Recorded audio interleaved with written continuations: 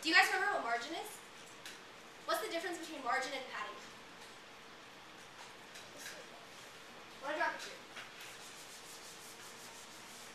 So if here's your element, uh, you have this something on this side, and then something in the inside. So which one's margin and which one's padding? Yeah.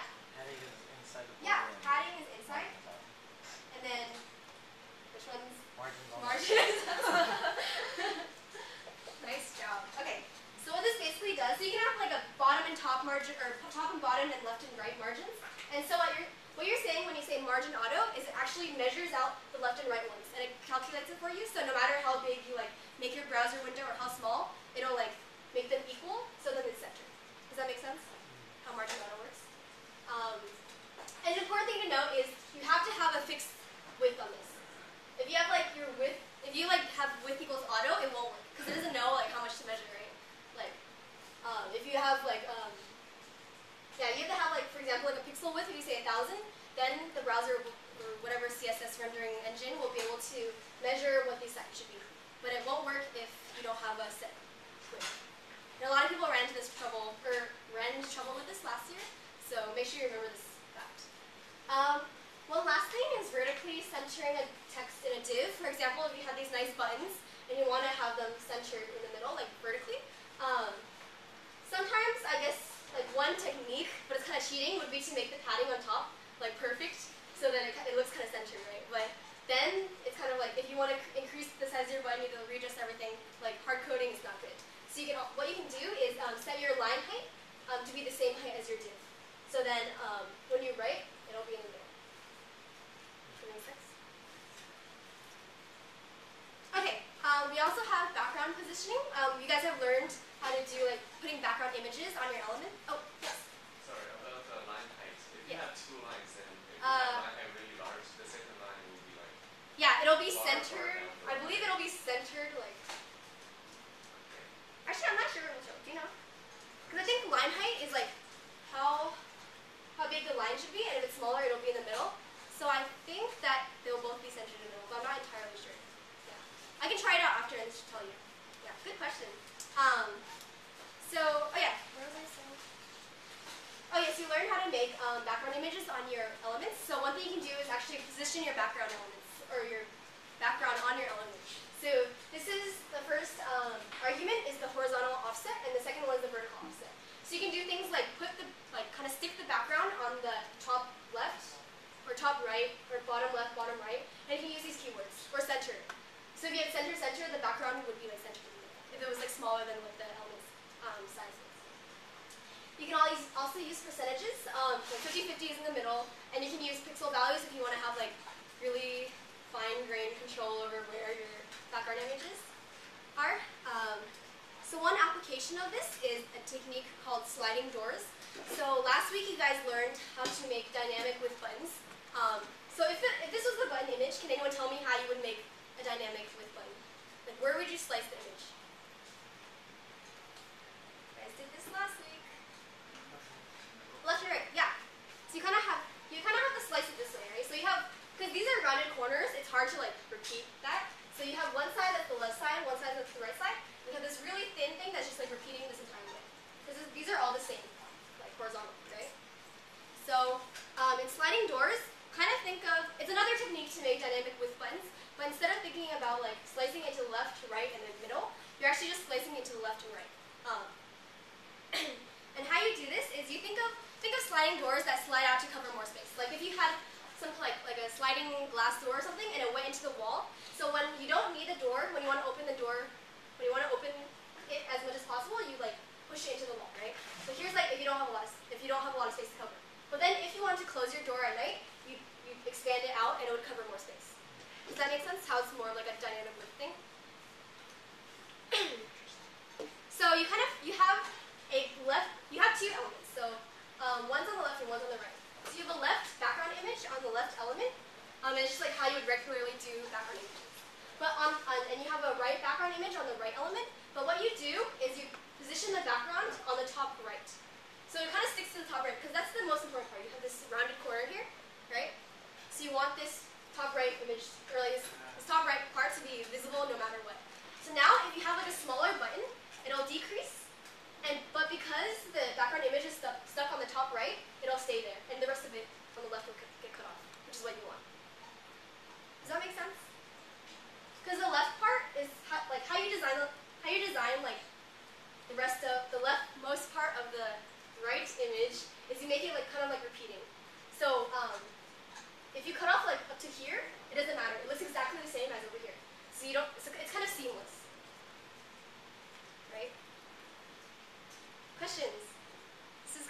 confusing. So your, Yeah. Go ahead. By the way. Oh, go ahead. is your picture, so your picture has to have a rounded top right corner?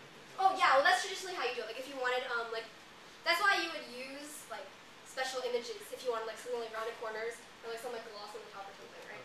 Or else you would just use like regular food things if you just wanted a color. Yeah. Yeah. Okay. But yeah, good question. So what would the working look like for this?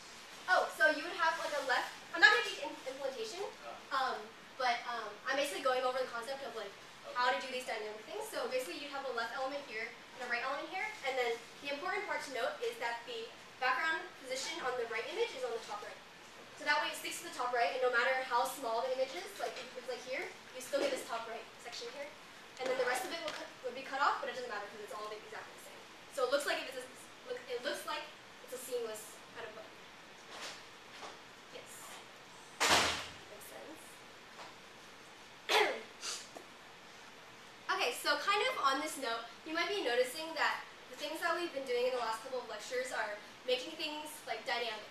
Because like, why would you want to create like, if you have different like labels, why would you want to create like 10 different size buttons if you could just create one that like expanded or contracted as you needed, right? Um, so this is kind of going along with fluid layouts too. Um, fluid layouts are basically layouts that expand or contract fluidly with the size of your browser. So um, instead of like, for example, if you had a, fixed width layouts, but for example, like imagine if you had like a thousand pixel layout, right? And it looks fine like on your computer screen. But then if someone's trying to view it on like their TV or like some other high resolution um, monitor or something, they'd see this like tiny like 100, 1000 pixel section, and then the rest will be white space. So like you want your layouts to be able to like like grow and shrink based on how big their browser is, so they get kind of like the optimal experience. Um, and how you would do this is using percentage widths instead of using fixed pixel widths. So instead of saying like a thousand pixels because that's how much you're kind of guessing the layout should be, or like that's how big your computer screen is, you can say 100%. And then if your if your computer like screen resolution is like a thousand, it'll be a thousand, which is fine, which is what it would, which which is what it was originally. But if it was like 2,000, then it would expand to 2,000, and that would have the layout like the layout would look fine on other screens. So this is what you this is what you want to do kind of with um, I guess this whole idea of making things fluid and making things like dynamically growing, because then no matter what your um, your customer I guess is like viewing your website on, like like a phone or like a huge monitor, it looks fine in all mediums. Yeah. What if you want like blank space on like either side of like content? Okay, yeah, good idea. He said, what if you want blank space on like, so you have something in the middle and then blank space on two sides, right? We just learned a technique, do you remember what it was? To center divs? Like horizontal Oh, margin auto. Yes, so you can horizontally center it div. So if you have some kind of fixed width in the middle, like thousand, and you set margin equals auto, it'll automatically calculate the sides and it'll be centered no matter what. So you could like win this eighty percent and eighty percent of the screen that's be in the middle. Yeah. Um,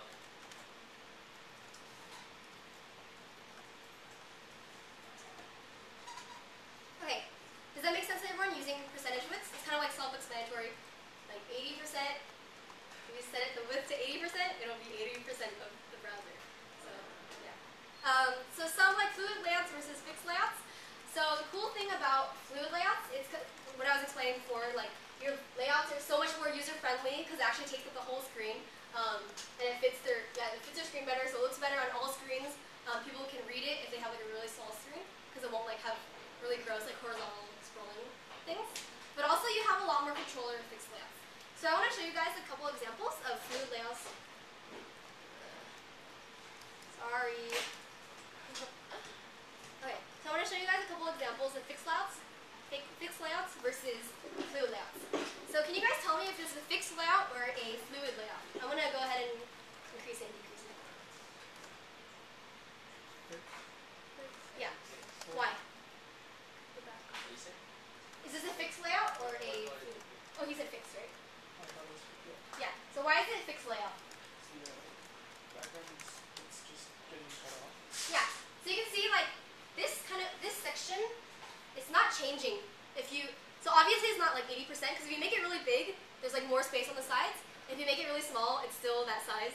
Just the margin gets smaller. So this- is exactly what you were talking about before, right? So something fixed like something in the middle, but it's fixed width, and the sides are um, the sides are auto create or auto calculated.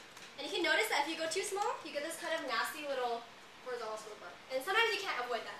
Like sometimes you're like you have images and they have to be that size and like you can't make an image like you don't want the image to be super small, so you set it to be a specific length. Does that make sense? Yeah. Yeah. Um, here the website has a lot of images and you use percentages and some of these use like wider. Wouldn't wouldn't it stretch the image and make it quality?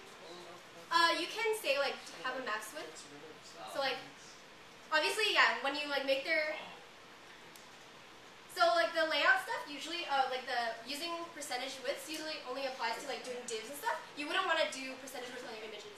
You they just be like fixed width or something like that. Yeah. So they just they'd stay there, but like the other things would get bigger and smaller. So you could have like some images that like appear. I'll show you. another- I'll show you an example later. Yeah. So you said this is fixed width, right? Yes. Um, but when you adjust the width of the window, the background image slides with it. Uh, what's what's that? Um, I think Is that just uh, a horizontally centered image? Yeah, I think that they have a horizontally centered image and they had some like uh, overflow cutoff, so it doesn't have a scrolling bar. Yeah. Another trick you could do to have, if you wanted to have something centered but look like it's like going on for a long time, is have an image in the middle and then have it kind of fade out slowly to black or like some solid color, and then you can make the the sides a solid color. So no matter what like size you make your browser, it kind of looks like it all like seamlessly integrates together. It's not like your image is like randomly cut off and it's like from some image to black because you, you added a fade, right? So it looks like it's supposed to be that way. That's like a cool little trick you can do. Um, and you can see like here, the images, watch the logo. It kind of gets messed up as you do this. So you can tell it's fixed. Yeah. Here's another site. Anyone tell me what this is? It's a auto- Oh, oh, laser turn. Oh yes. Thank you. So what is this? Fixed width or fluid width? Fluid? Is the div in the center changing width? Oh, I don't. I guess you can't really see it. Okay. Well, it's fixed width. I don't know if you can see it, but this middle thing is like it's kind of like the same thing as the other one. The margins are um, the margins are decreasing, but the middle is still the same. Okay, so this is a really cool example. Um, do you guys think this is fluid width or fixed width?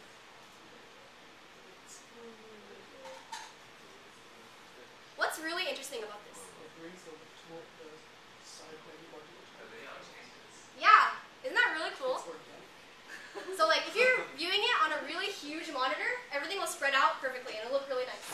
If you kind of have like a netbook or something, there's no scroll bar. It'll just kind of get rid of one of the sidebars for you. If you're viewing it on iPhone, it'll get rid of the side. Yeah, that's really cool.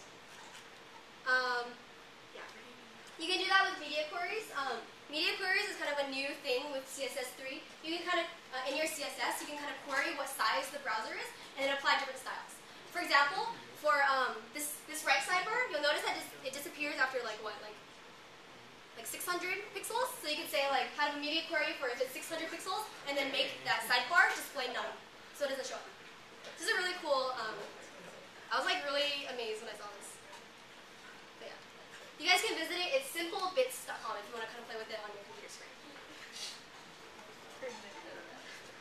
Something like fluid. Oh damn.